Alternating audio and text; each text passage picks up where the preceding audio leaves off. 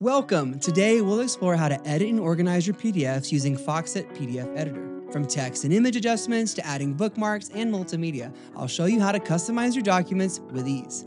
Let's get started.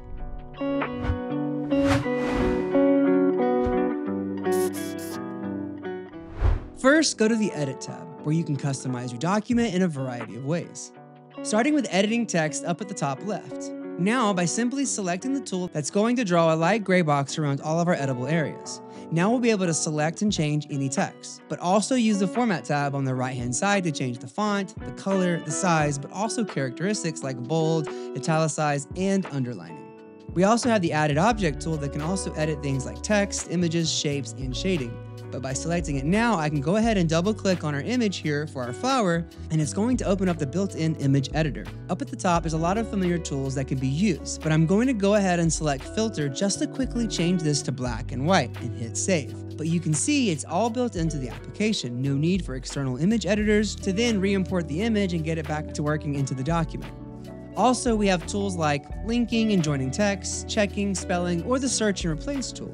And if you can't find what you need, we have the search tool always up at the top. We can quickly add text, you can add images to our document from a file or draw one within the image editor. Shapes and shading can be found here as well. There are more advanced ways to edit text, like reflow editing or using the article box mode. We can add web links or clickable link areas within our document that can navigate to bookmarks. And speaking of bookmarks, just by choosing the bookmark tool, we'll be able to open up the bookmark tab on the left-hand toolbar.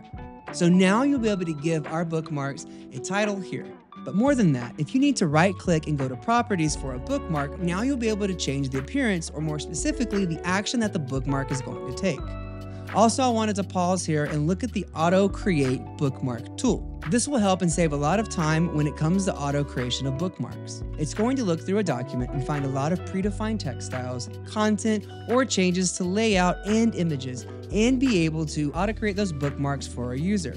From there, we can also, on the left, once all those bookmarks are created, generate a table of contents from my menu to save time and get the most out of our Foxit PDF editor.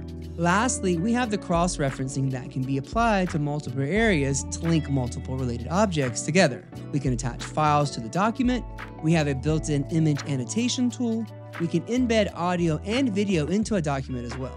And lastly, 3D support for most 3D PDF files, they need to be opened and viewed. Thanks for watching. With these editing and organizing tools, you can fine-tune your PDFs to meet your exact needs. Please click on the next video to keep learning. If you're ready to get more done using Foxit, request a quote or contact a reseller today.